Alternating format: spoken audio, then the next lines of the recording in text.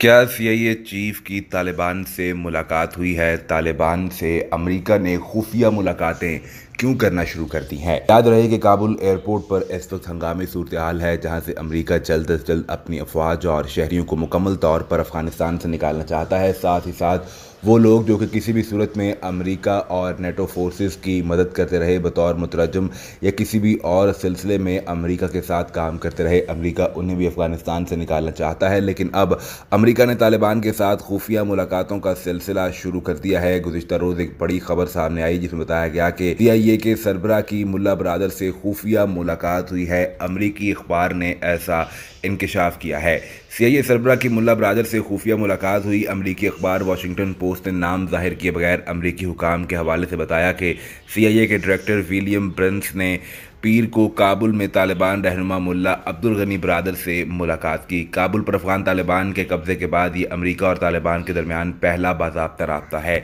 अमरीकी अखबार के मुताबिक मुलाकात में काबुल में अमरीकी नखला अमन अमान की सूरत हाल और सिफारती मामला पर बातचीत की गई। हाफिक कामरान खान के मुताबिक काबुल में सी आई ए सरबरा विलियम ब्रिंस के तालिबान सरबरा मुला अब्दुल गनी बरदर की बरह रास्त खुफिया मुलाकात अफ़गानिस्तान पर तालिबान के कब्जे के बाद सबसे बड़ी खबर है। ये वही मुला बरदर हैं जिन्हें सी आई ए ने ग्यारह साल पहले आई एस आई के साथ मुश्तरक ऑपरेशन में गिरफ़्तार किया और गुजशत साल खुद ही रिहा करवाया था।